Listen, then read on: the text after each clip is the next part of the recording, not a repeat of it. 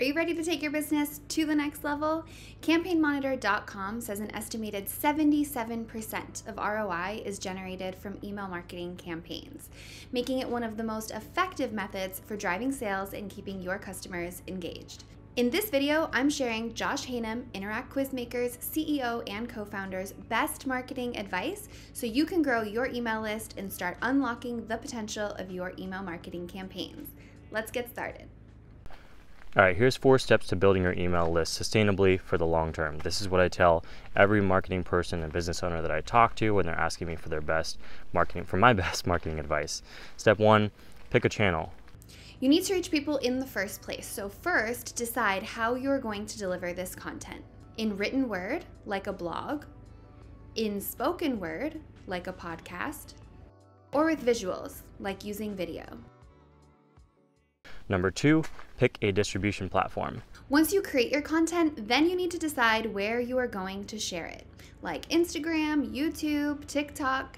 If you're not sure, then pick one platform that your ideal customer hangs out on most. Or pick a platform that you like using the most to keep the experience fun for you too. Once you get that platform down, then you're ready to expand to others. Number three, build a lead magnet, which is where you're going to point people when they are consuming your content and so you can get them onto your email list. We are huge fans of using a quiz as a lead magnet because quizzes convert viewers to subscribers at an average rate of 40%. That's four out of every 10 people that are visiting your website, much higher than any other lead magnet out there. Once your viewer takes your quiz, they enter their details, and that's how they get onto your email list. And then number four, nurture them along to a sale. Once someone subscribes to your email list, give them a reason to stick around. Add value to your emails all of the time, and then occasionally have an offer that they can buy. That's how you grow an email list. Josh, run those four steps back for us one more time. Step one, pick a channel. So, channel means blog, so written word, podcast, spoken word, or video.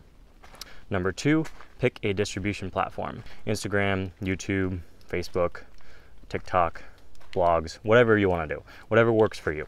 Number three, build a lead magnet, which is where you're going to point people when they are consuming your content and so you can get them onto your email list.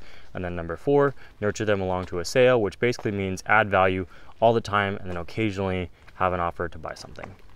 If you like this video, subscribe to our channel for more. If you're ready to grow the heck out of your email list, then check out these real life examples to see how your friends or your competition are growing the heck out of their email list.